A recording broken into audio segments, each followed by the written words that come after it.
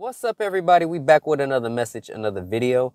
Thank you to all my new subscribers and future new subscribers. You know we do nothing here without God because everything is spiritually led by God over here.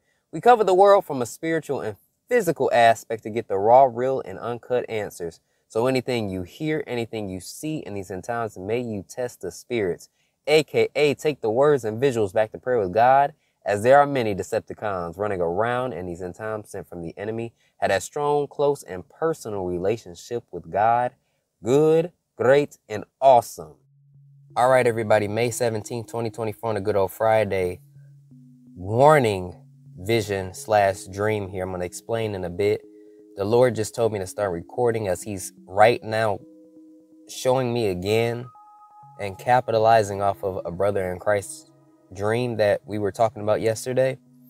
So I'm going to explain the dream really quick that he had. He had a dream of black smoke coming out of a four to six story building. And we started talking about it, and the Lord began to show me visuals.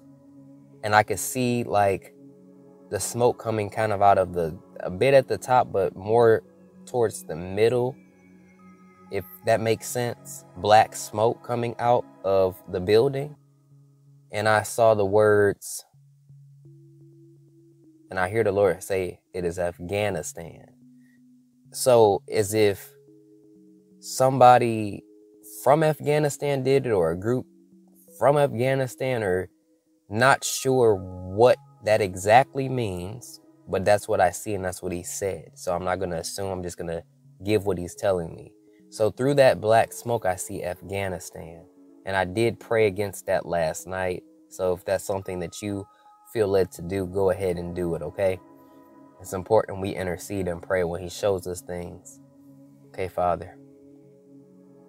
Go ahead. He's just showing me stuff. Afghan. So he's just showing me Afghanistan, Afghan. Okay.